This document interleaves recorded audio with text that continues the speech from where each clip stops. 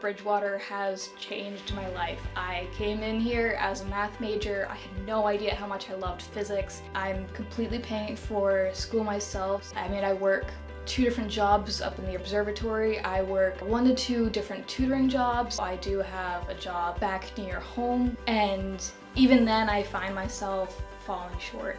I have had to take a semester off because I, I couldn't pay.